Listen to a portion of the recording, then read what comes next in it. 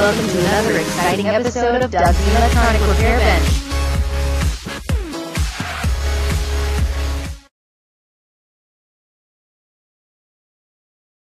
So what I'm thinking about next is the uh, the dim bulb. Get this out of the way. What I'm thinking about is a porcelain fixture mounted right there with a little bulb in the solder, and that is right over the top of the uh, of the uh, Variac. That will keep it uh, out of the way as far as um, you know me smacking it or something because this is here oh, I shouldn't say. This is here and this is here, and that way, if it's right here, I don't think I'll be so inclined to break a bulb out or something like that. So um, that's the plan, I think. I found the stuff I needed on on uh, at Home Depot. I'll probably go ahead and easily what I do is buy those online, and then uh, they send me a little email. It says it's ready to pick up. I just go to the service desk, because I'll pick it all up. It's a lot easier than walking around all the store and and doing that. Uh, finding everything. So I'll probably do that. And I have everything I need for that, I believe. Um, I'm buying another shallow electrical box, like the blue box behind there.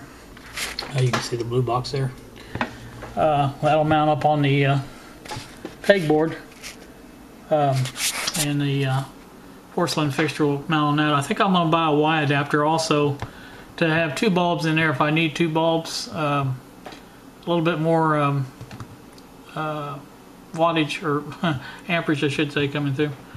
Um, so, also I plan um, once these uh, come in and everything is here is to give you a little demonstration on the dim bulb um, theory, uh, practice, whatever you want to call it, how it actually protects radio circuits and things like that uh, when you're working on them.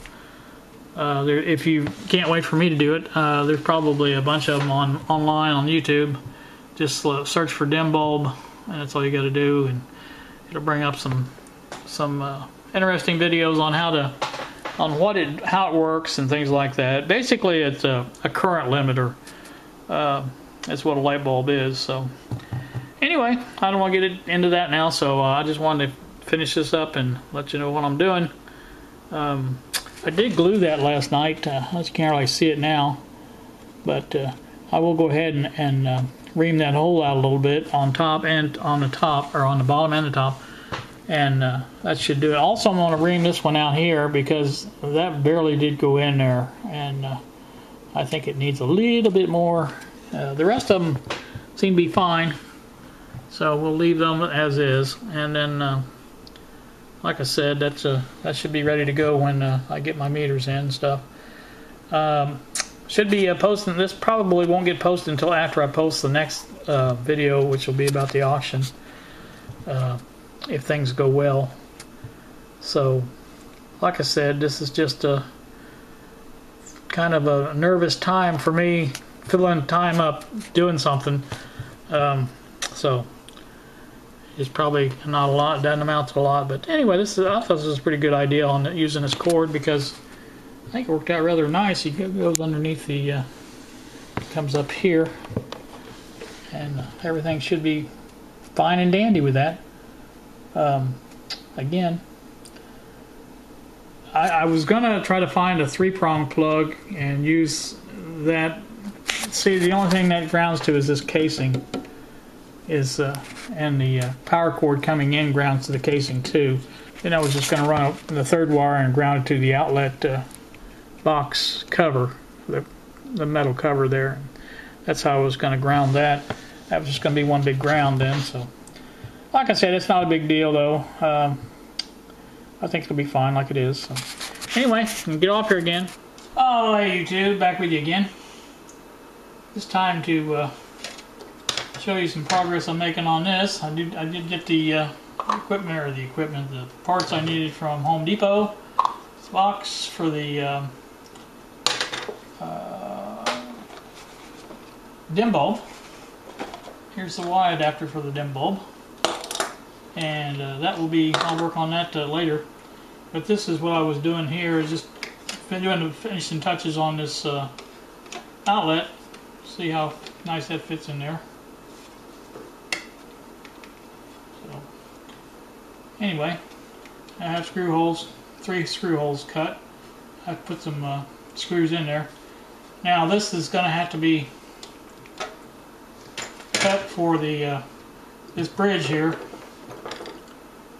Will have to be cut out on both sides because one of these uh, outlets will be the full Variac out, output and the other one is the dim bulb. So I usually I've done this a lot of times before. Just cut this little bridge here, and that gives you two separate two separate outlets there. So that's what I'll do.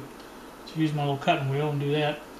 So that's uh, that'll be again later on today probably. Um,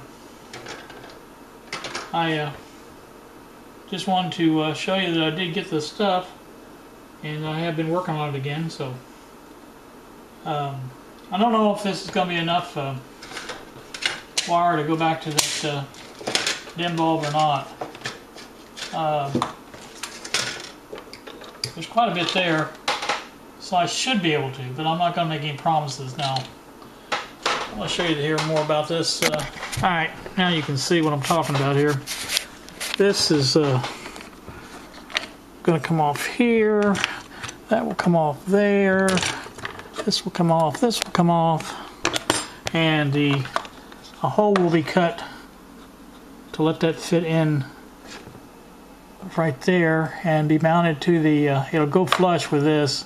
It'll be mounted there, and then the uh, the light socket itself will go up on the uh, on the on the uh, box, and the bulb will stick out. And now, like I say, it will stick out a little bit more. I'm going to try to orient this so that the, the bulbs are going up and down.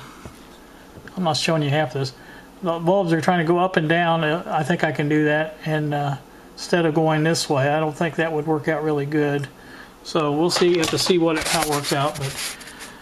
That'll be the plan later on, so I'll bring you back when I have more to report.